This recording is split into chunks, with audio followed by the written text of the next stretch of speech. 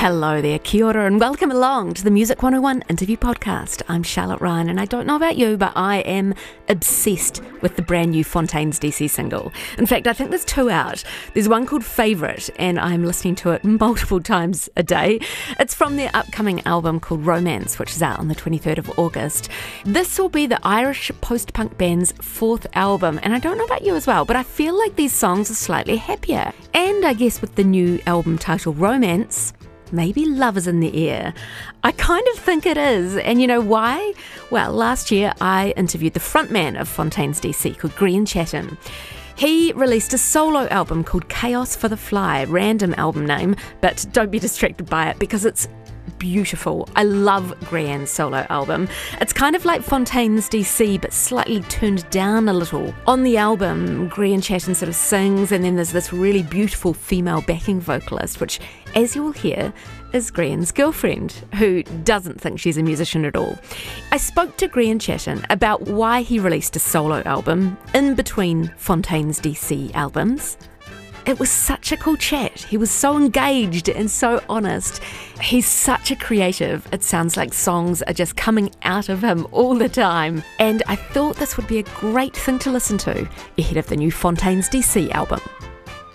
How are you feeling? I mean, the album's out now. This is your first debut album. What are your emotions like now that it's out in the world and you've started playing live? My reaction immediately every single time we we I've ever been involved in that and, and, it's come out is to just run to the next thing. You know, I've kind of I don't know if it's maybe it's if it maybe comes from an inability to kind of stop and smell the roses, but I like to have an album up my sleeve. You know, I feel more kind of comfortable when I have music that uh, no one's heard yet. I'm planning to release, so I'm just going to go straight into writing again as soon as, as soon as this week is done. so Chaos for the Flyers out, but I understand, are you working on a new Fontaines DC album? Yeah, always, you know, I'm in a good place creatively, I think, at the moment, and I'm, uh, you know, strike while the iron's hot and all that kind of crack. Of course. We say make hay while the sun shines in New Zealand. there you go, yeah. They're both kind of relatively medieval kind of terms. Are you still writing all the time?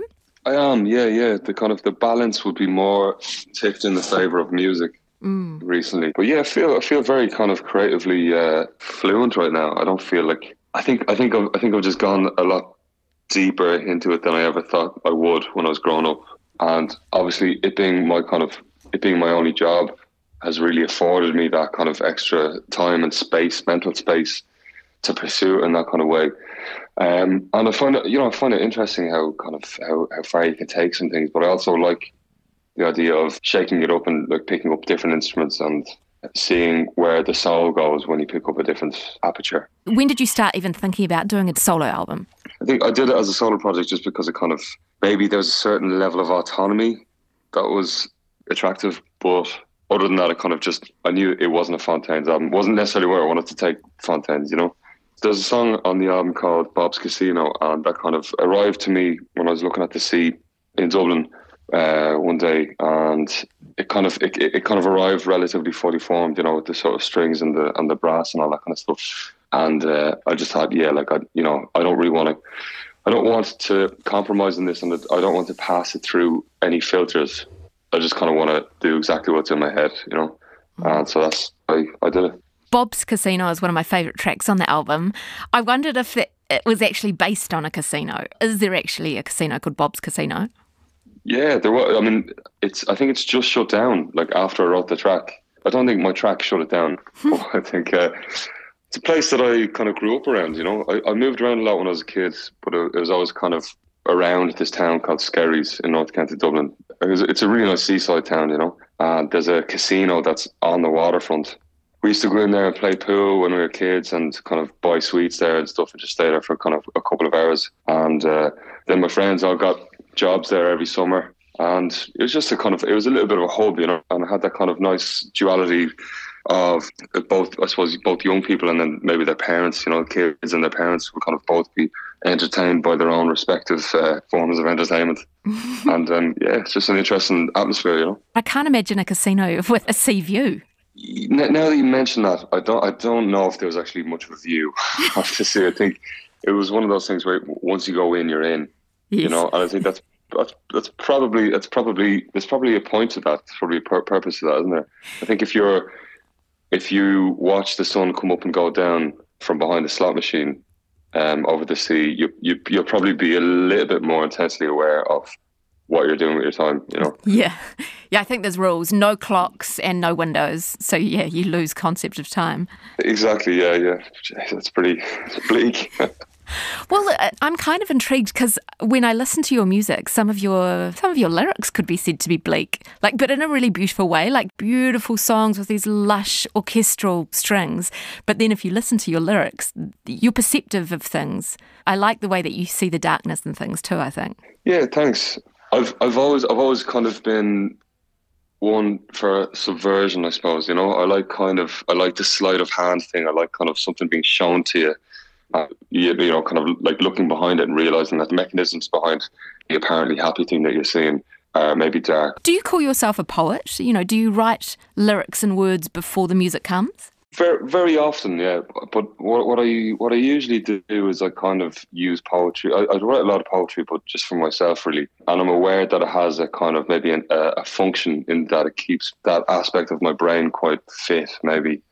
Because mm. I because I like doing that, but I don't really like as much as I used to. I don't really like kind of stuffing poetry into music, you know. So I kind of use the poetry writing as a method to kind of remain kind of uh, fit with kind of creative writing. And then when, when a song comes up and I've got the melody and everything, and it's time to write the lyrics, I, I usually have a few nice cards at the top of the deck.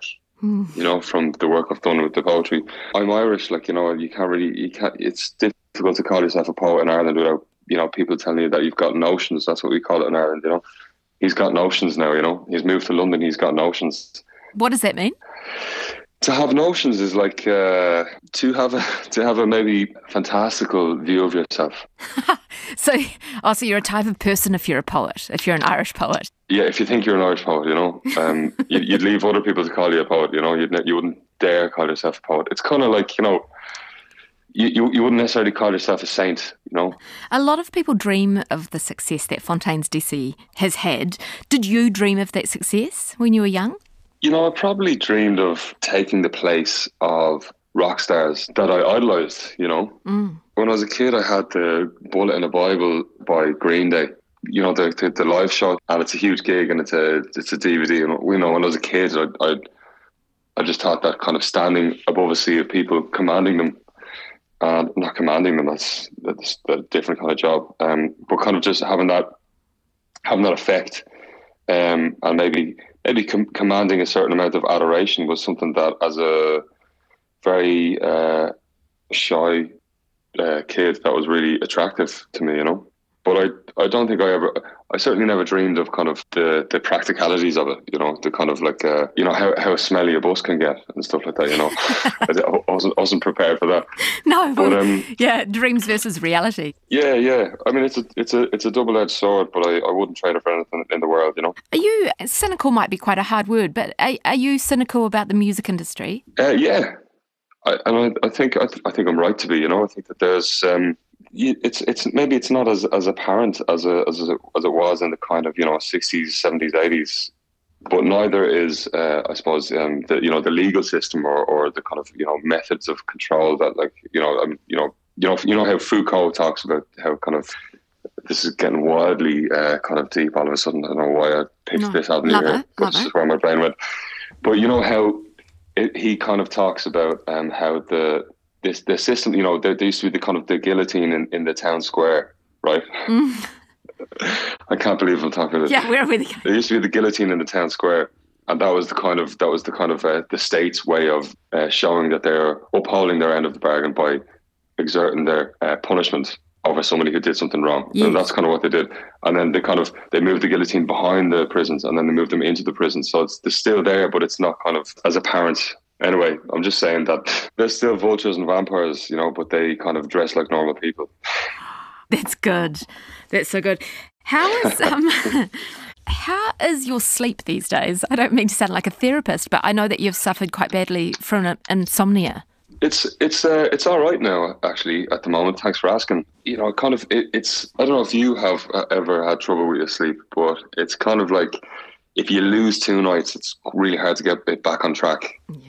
Because you you're convinced that it, you're gone, and when the when the third night comes around, it's it's hard, it's hard to kind of allow yourself to allow yourself to believe that you might be able to go to sleep now. You know, you think you're just you're just in a in a patch, but it's all right at the moment because I, I think largely down to the fact that uh, myself and my my partner Georgie have moved back into Camden, which is a an area we have some experience living in in London, and uh, our flat is relatively homely, and there's a consistency and routine to my life which allows me to relax a bit. You know. Camden's quite a cool, crazy, it's a very creative musical place, or it ha- always had that reputation. Is it still as creative and sort of the hive of live music? Um, there's a lot going on, you know. I think a lot of the people that would have pop, a lot of the kind of youth that would have populated in in the sort of 2000s, you know, during the times of the sort of libertines and Amy Winehouse and stuff like that, a lot of a lot of the modern day equivalent of those people would probably be located in East London at the moment, mm-hmm. which allows for a little bit more space here, maybe. But there's the venues are still there. People still come to Camden for for the events. You know, I think I require a certain level of stimuli, certain amount of stimuli, really, in order for me to be able to relax. And I think that's probably partly down to the fact that I've spent a lot of time touring mm-hmm. and going from that to to uh, to a silent sea is just a bit too much of a drop off, you know, and it's hard hard to adjust to. So I, I need a certain amount of life around me, you know. Georgie's voice and her backing vocals or singing on the album is so beautiful. Is she a musician as well, or did you have to convince her to sing on your album?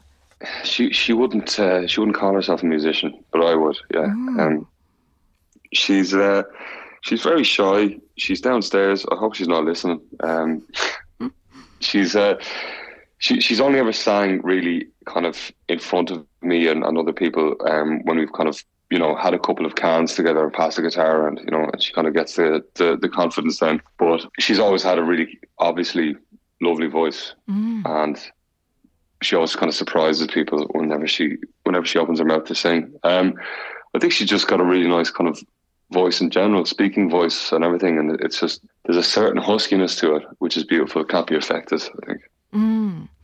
And so, will she perform? Can you convince her to perform live with you? You know, does she do live backing vocal? Um, I would love her to do that. I don't know. I don't know if she would. No. But there's no there's no immediate plans for me to tour this, you know, uh, as well because I've got I've got a couple of acoustic shows left this week, um, just to kind of promote the release of the album around England.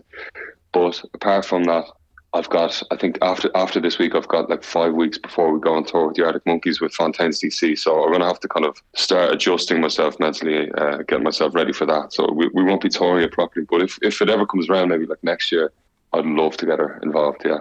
So you've got, I think it's over 30 dates in America. How do you prepare because of the insomnia and because of, you know, the extent of and the damage sometimes touring can do to mental health? How do you prepare for a tour like that? What I'd really like to do is get to a point where I'm sort of deeply content in my own company, and I, I don't think I don't think I've I think I've lost that over the last couple of years of touring and stuff. And I think if I can get back into that place, then I'll have enough of a kind of integrity, enough of a foundation within myself to last the tour without breaking. Hopefully, you know that's my plan. I've got faith in you. You'll do it. Cheers. Good luck, Grian. And thank you so, so much for the time today. And uh, congratulations on Chaos for the Fly. I just love it so much. Cheers. Thank you. My pleasure. Thanks very much for having me.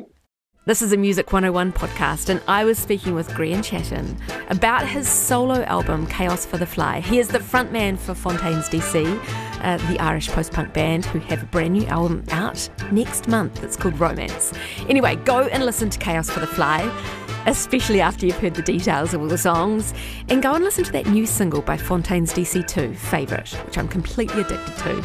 Until next time, like, share, I'll see you soon.